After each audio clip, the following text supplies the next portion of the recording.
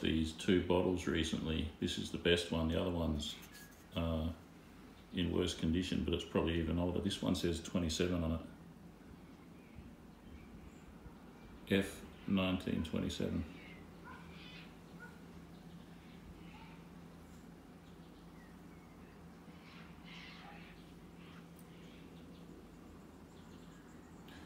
It has a, it's a salt shaker.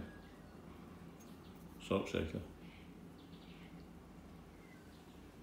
Has a green rubber stopper.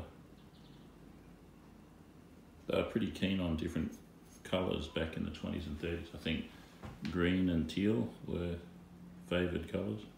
So that stopper, that rubber stopper's green.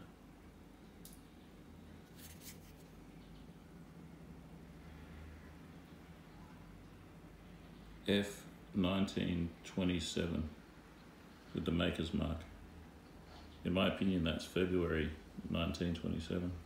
That's pretty cool, huh?